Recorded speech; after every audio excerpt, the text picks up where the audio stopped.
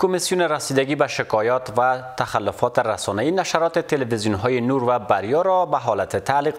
درآورده است. این کمیسیون دلیل بستن این دو رسانه را مراعات نکردن اصول ارزش های ملی و اسلامی خوانده است و افزوده که این رسانه ها به گونه مکرر ضد نظام تبلیغات می‌کردند و تا فیصله دادگاه فعالیتشان متوقف خواهد ماند. مرکز خبرنگاران افغانستان همچنان متوقف شدن فعالیت این رسانه ها را خلاف قانون رسانه های همگانی دانسته است و خواستار لغو این دستور و بازگشایی هرچه زودتر این دو رسانه شده است جزئیات بیشتر با همکارم خالد عمری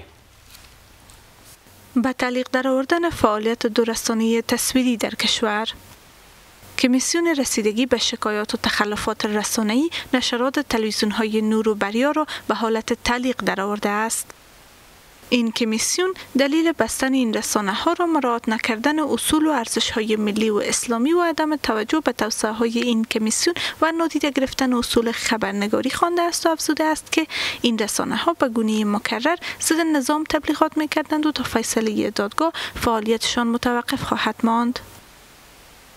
هر دو رسانه که رادیو تلویزیون نور و تلویزیون بریا می باشد بنابر فیصله اعضای کمیسیون که نمایندگی از نهادها جامعه ژورنالیسم و رسانه ها می کند به صورت موقت بسته شد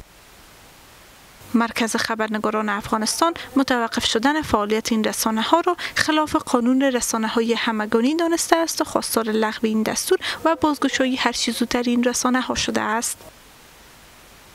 مرکز خبرنگاران افغانستان این اقدام را خلاف قانون رسانه های همگانی کشور و در راستای محدود کردن بیشتر رسانه های آزاد می داند و خواستار لغو این دستور و بازگشایی هرچه زودتر و بدون قید و شرط این دو رسانه می باشد.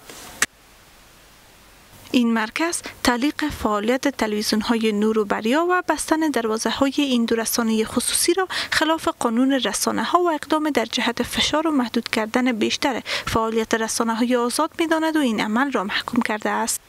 دوی ته توصیه شوی و اختار ورکړل شوی وو خو دوی هغه بابیزه ګڼلی وو. نن د کمیسیون غړو دغه پریکړه وکړه تر هغه پورې چې د دوی دوسیه